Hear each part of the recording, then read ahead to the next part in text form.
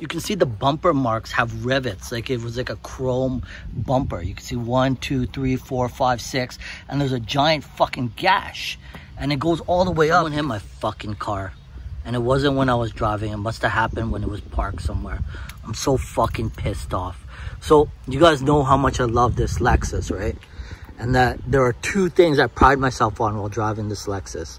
The first thing is although it's approaching 16 years old there has never been one single check engine light or check transmission light.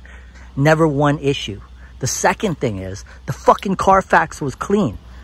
And so today I take my car out to go get a wash and I notice at the front someone fucking hit it and it looks like it was a truck or like a trailer because you can see the you can see the bumper marks have rivets like it was like a chrome bumper you can see one two three four five six and there's a giant fucking gash and it goes all the way up. You can see scratches on the hood and on the grill and the fucking license plate is bent. So here's the thing, I call fucking ICBC and they're like, yeah, you can report it as a hit and run, but I gotta take the fucking hit. This car is almost approaching 16 years old. It's never had a fucking accident.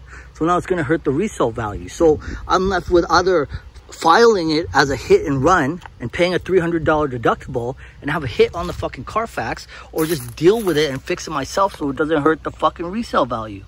I'm so fucking pissed.